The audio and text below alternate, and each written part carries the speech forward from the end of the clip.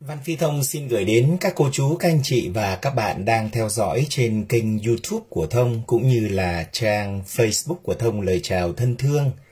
Cả nhà thân mến, hôm nay Thông chia sẻ với cả nhà cách nấu chè bắp bột báng à, nước cốt dừa.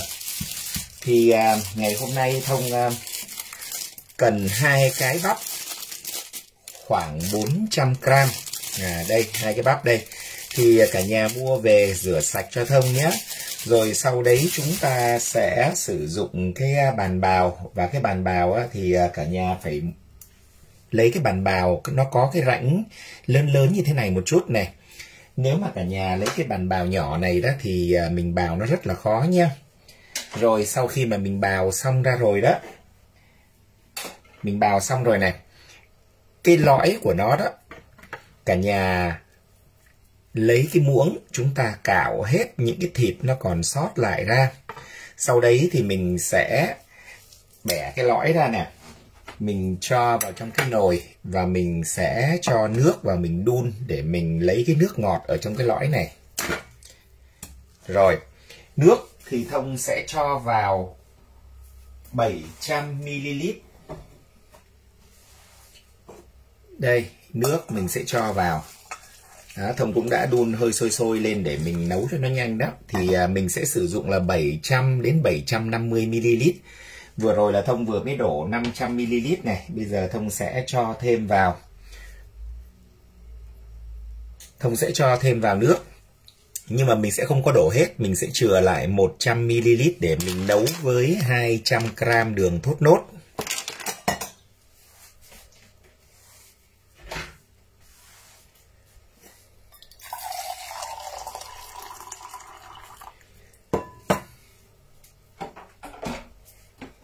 Rồi. Thông sẽ cho một chút xíu nước vào trong nồi nè. Rồi. Gói đường thốt nốt 200 gram mình sẽ cho vào mình nấu nó lên.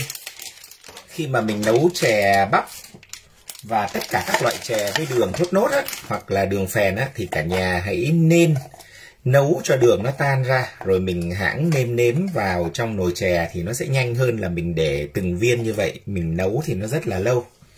Rồi bây giờ thì à, chúng ta cùng nhau à, nấu chè nha đây để cho cái nồi chè nó thơm á thì à, thông cũng sẽ cho vào à, hai cái lá dứa vào trong cái nồi nước.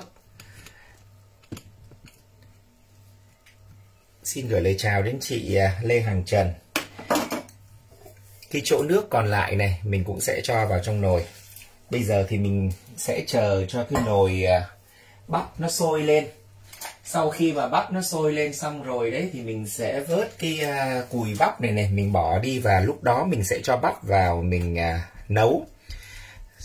Nấu chè bắp bột báng nó rất là nhanh cả nhà. Thông cần 50 gram bột báng. Đây là 50 gram bột báng thì thông sẽ cho nước lạnh vào thông ngâm cả nhà có thể là ăn nhiều bột báng thì chúng ta cho bột báng thêm nhiều nữa vào nhé. Rồi, ở đây là hai muỗng cà phê bột năng, thông cũng cho nước lạch vào thông pha cho nó. Loãng ra.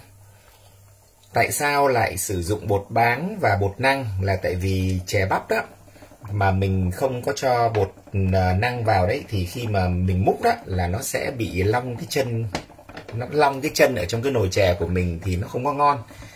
Cho nên là mình nên cho một chút xíu bột năng nhất là những cái loại chè nấu bằng gạo nếp chẳng hạn như là chè đậu trắng. Mà mình uh, nấu với gạo nếp mà mình không cho một chút xíu bột năng đó là thường thường nó hay chảy nước ở trong cái chén chè của mình đó.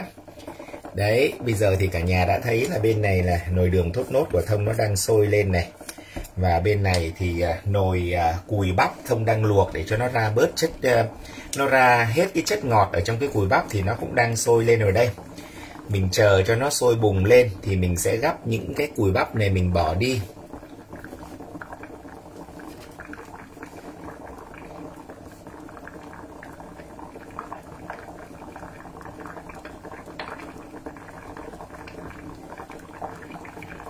Chè bắp ăn cũng mát lắm và ngon. Dạ cảm ơn chị. Ngày hôm nay là ngày chủ nhật, là ở nhà chẳng biết làm cái gì hết. Làm từ nãy giờ, quá trời đánh luôn.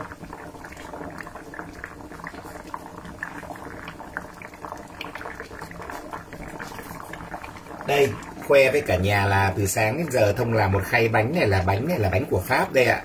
Đấy France Prochain đấy, bánh của pháp. Ở bên trong nó có quế và bơ rất là ngon. Rồi, cả nhà ơi, cái nồi à, cùi bắp mình luộc lấy nước thì nó đã sôi rồi đây. Bây giờ thì mình sẽ gắp cái cùi bắp mình bỏ đi. Và sau đấy thì mình sẽ cho bắp mà mình đã bào ra đó. Mình sẽ cho vào trong cái nồi này.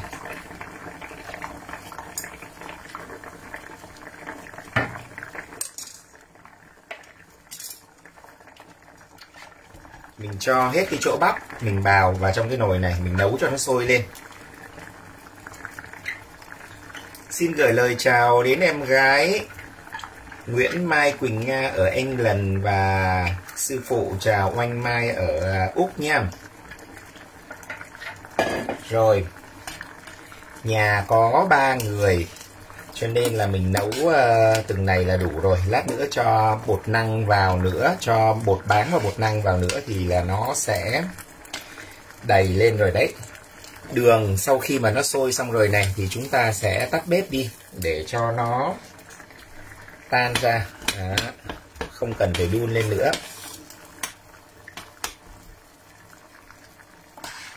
Rồi.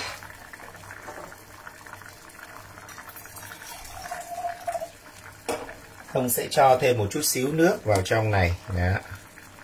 Một chút xíu thôi. Thì khoảng cỡ từ 700 cho đến 800 gram nước, cả với nước, cả nước đường luôn nha cả nhà. Bây giờ mình chờ cho nó sôi lên là xong rồi. Chè bắp nấu rất là là nhanh. Dạ Chị Điệp và Thương Thương khỏe em ơi. Thương Thương thi xong rồi. Thương Thương thi bằng lái xe cũng xong luôn rồi.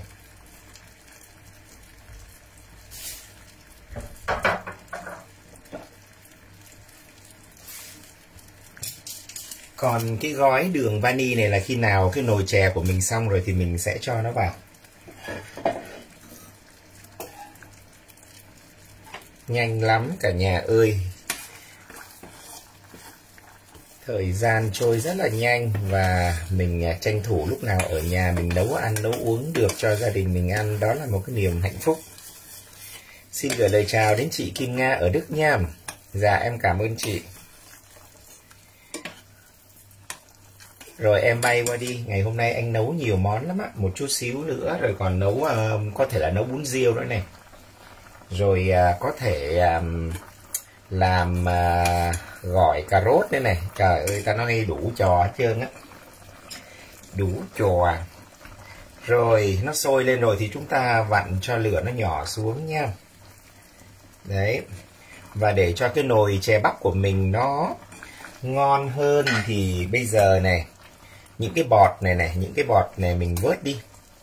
Đó, cái bọt này là của bắp thôi chứ không phải là cái gì đâu nhưng mà thôi mình vớt đi cho nó nhìn cho nó cái nồi chè cho nó nó hấp dẫn. Này cái này là nó là bắp đấy.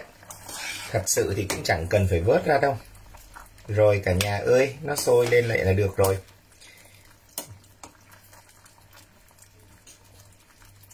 Cái lá dứa này bây giờ thông sẽ gắp nó ra. Mình nấu nó sôi lên là được rồi. Không nhất thiết phải để nó lâu. Nó lâu quá thì nó lại ra cái đắng chứ nó lại không còn thơm nữa nha. Rồi, bây giờ đơn giản nè. Đơn giản nè. Mình sẽ múc bột bán nè. Mình cho vào trong cái nồi chè nè.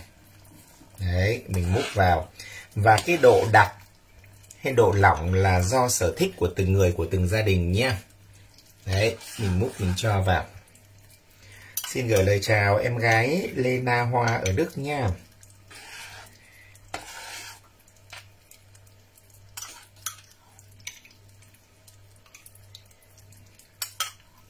Mình à, thích ăn đặc thì mình cho bột bán nhiều mình thích ăn lỏng thì mình cho bột bán ít. Rồi sau khi mà mình cho bột bán vào rồi thì mình sẽ nấu cho nó sôi lên để cho những cái hạt bột bán nó nở ra. Tại vì bây giờ mà thông mà cho nước đường vào đó là những cái bột bán này nó sẽ không có nở ra và nó sẽ bị à, ốc trâu và nó nó nó sẽ không có chín nha.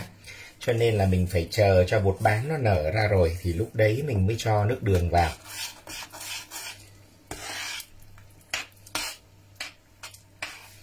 Bây giờ thông phải chuẩn bị chén để mình múc ra nè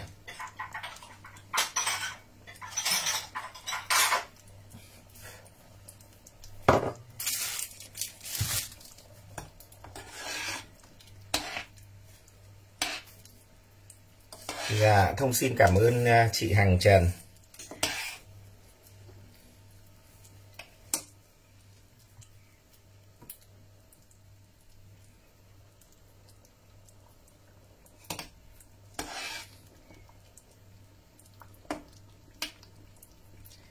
À, một điều thông quên với cả nhà là nấu chè là lúc nào mình cũng phải à, dằn một chút xíu muối vào để cho nó có cái độ à, âm dương và cái nồi chè của mình nó sẽ ngon hơn nha. Đấy, thường thường mà làm livestream là hay bị quên lắm, quên đầu, quên đuôi đấy. Đó. Rồi, bây giờ mình cho nó sôi lên đi.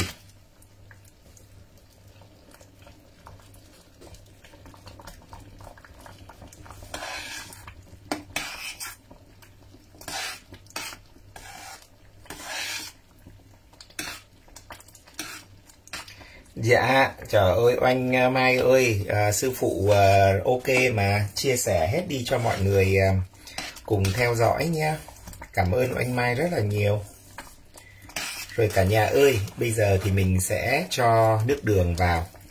Và cái độ ngọt nhiều, độ ngọt ít thì cũng tùy thuộc vào sở thích của từng người, của từng gia đình nhé. Tốt nhất là chúng ta hãy nêm từ từ đường chứ không mà nó ngọt quá đó thì lại ớn.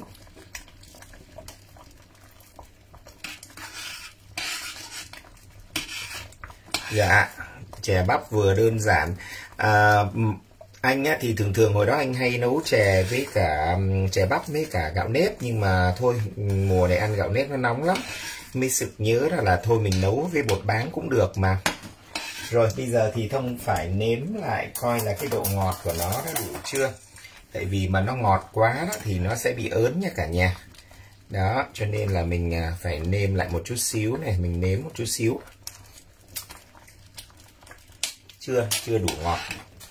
Thông nghĩ rằng là 200 gram đường thốt nốt cho vào 800 gram nước là thông thấy là cái độ ngọt đã ok rồi đó. Còn nếu mà cả nhà thích ăn ngọt nữa thì chúng ta cứ việc cho thêm đường nhé.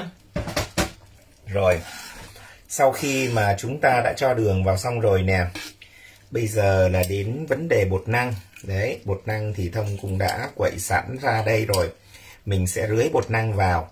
Mình cho bột năng vào, thứ nhất là chè của mình nó không có long chân, thứ hai á, là cái chè của mình nhìn nó sẽ sánh hơn. Nó sẽ sóng sánh hơn, nó đặc hơn một chút, nó sẽ ngon hơn và cuối cùng thì chúng ta sẽ cho vào gói đường vani. Xin gửi lời chào đến em gái gió bụi bay ở Hòa Lan. Em gái ơi, hôm nay Hoa Quỳnh em gái gửi cho anh Thông á, nó lại ra ba cái nụ to ơi là to rồi. Cảm ơn em gái rất là nhiều. Bây giờ thì Thông chờ cho nồi chè nó sôi lên là Thông sẽ tắt bếp. Sau đấy thì mình sẽ múc chè ra chén và cho nước dừa vào. Ở đây đó, nước dừa cả nhà có thể nấu và nêm lại nhưng mà thông đó thì là thật sự mà nói là bây giờ mà nấu lại này rồi nêm nếm rồi cho bột năng vào nó mất công quá. Vì vậy là thông ăn thẳng cái nước dừa từ trong cái hộp nhựa hộp giấy này luôn. Đấy, mình chỉ cần cắt nó ra và mình cho lên trên chè là xong rồi. Bây giờ mình đợi cho nồi chè của mình nó sôi lên rồi mình tắt bếp đi. Trong cái thời gian từ lúc mà nó nguội đi đó, từ lúc mà nó sôi cho đến lúc nó nguội đi đó thì những cái hạt bột báng của mình nó sẽ nở ra nhé. Rồi, chè của Thông đã xong rồi đây. Bây giờ mình sẽ cắt cái hộp nước dừa này ra nè. Đấy. Cả nhà chỉ cần cắt một chút xíu như vậy nhé rồi mình ăn đó, nếu mà khi nào mà mình còn thừa đó, thì chúng ta sẽ lấy cái kẹp như vậy này. Chúng ta kẹp cái bịch nhựa, cái hộp nhựa này lại là như vậy. Rồi chúng ta để vào trong tủ lạnh. Rất là đơn giản và tiện lợi nữa. Rồi, bây giờ cái nồi chè bắp của thông nó thơm quá. Vì nấu ít, sử dụng cái nồi nhỏ lên là nó văng tùm lum từ lưa hết trơn à nhà ơi cả nhà ơi. Mời cả nhà ăn chè bắp bột bán nước cốt dừa nè. Đây bắt đầu múc vào trong chén nè. Ừ.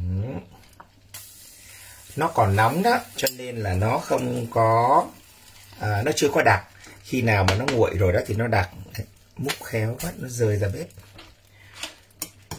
Rồi bây giờ thông sẽ cho một chút xíu nước cốt dừa lên nè uhm, ôi ôi hấp dẫn chưa cả nhà ơi tuyệt vời chưa